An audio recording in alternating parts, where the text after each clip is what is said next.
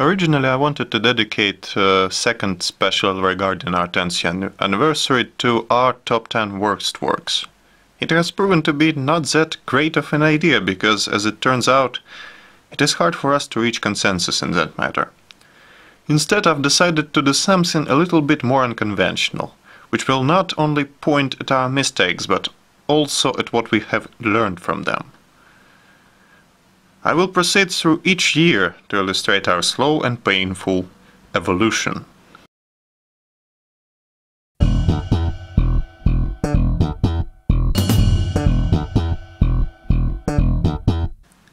We have only had one release in 2007, a small short film I have edited under the influence of Vasilyev Brothers' works on film editing. It was called Vshin Machine. It was as basic as it gets, but it was the start. We were only beginning that year, making our first steps towards filmmaking, learning how to operate our first camera, a Sony Handycam camcorder, and making our first steps in anything. Unfortunately, Vshin Machine seems to be gone forever. I've searched through every data I have, reading hundreds of old emails, but it wasn't there. Yet we can't forget that it was our beginning, and through it, in 2007, we have learned the very basics of filmmaking. In 2008 we had our first co-production, The Bride's Revenge, a short film of a theatrical performance by mime theater Puzzloidy. What we did basically were a few finishing touches of editing, uh, main titles and end credits. For me it was a chance to practice what I was and still is very passionate about, title design. And also to use for the first time PP Studios logo, which I have been animating for a few weeks and which we are still using today if with some minor changes. It is safe to say that the most important thing we have learned in 2008 was representation. Something which could be done with or without logos, titles and credits, but should be done anyhow in order to be taken seriously. Especially since a few avant-garde abominations which we filmed in 2008 via cell phone could have used that a lot. 2009 was kind of a bleak year in which studio, while finally transforming from a schoolyard project into something tad more serious, was still yet to achieve anything. On the other hand, after two years of writing a script for a feature film called Crudely Written Communal Fiction, which was envisioned back in 2007, was finally there. Looking at it, I knew that it wasn't perfect, but it was something we actually could film and something that could actually grip people, which it did. It was worth the wait, and now, as we have learned how to wait, we were able to do it a bit more. 2010 was a year full of filming and crazy stuff. As I've joined university and won a screenplay contest of the International European Film Festival, more and more people were affiliated with PP Studio and interested in our work. We have started to use YouTube that year as well. I believe the most important thing we have learned in 2010 was the fact that teamwork solves the problems. We have filmed those old trailers, fully on our own, mostly improvising, and the whole production took three days. For what it was, it worked fine. It was not reliant on any other sources uh, except from a few public domain excerpts, and it got a lot of people interested in our work, which helped us with casting and a pre-production for a feature film.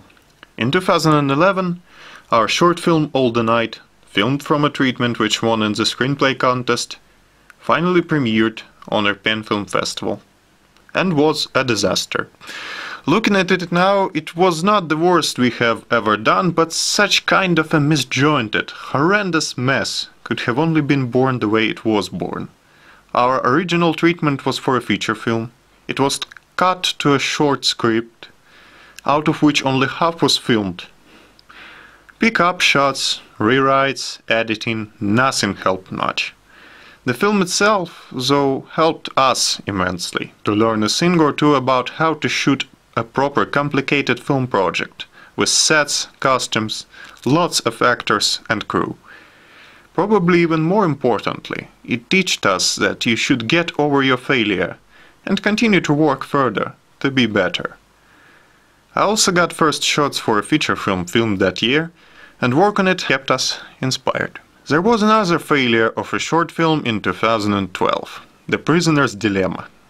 We got over it much faster this time because the same year we have finally started principal photography for crudely written communal fiction.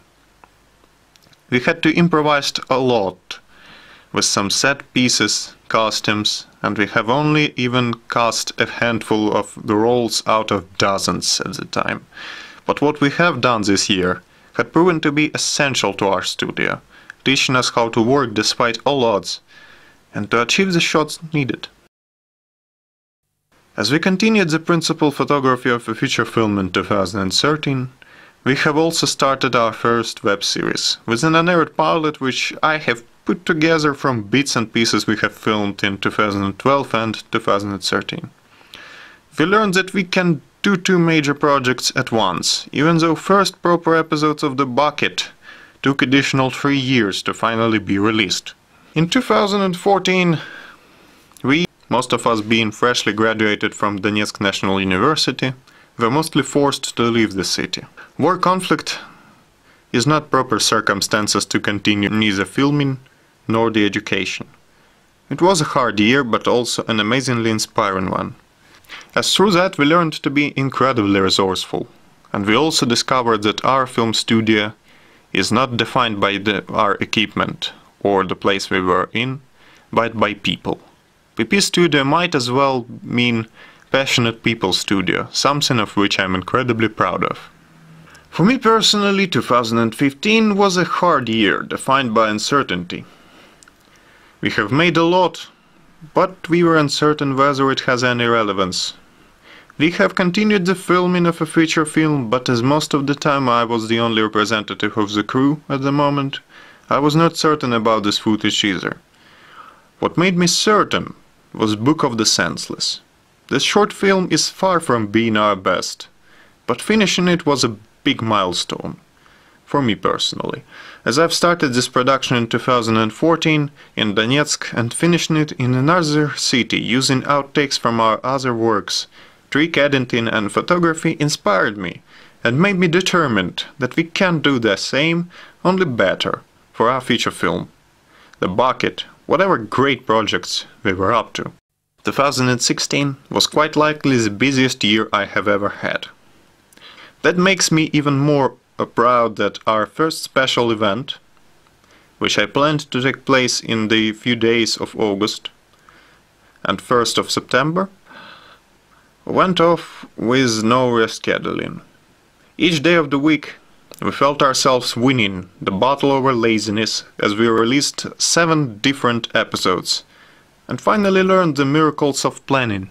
It is probably a bit too early to say anything on this year.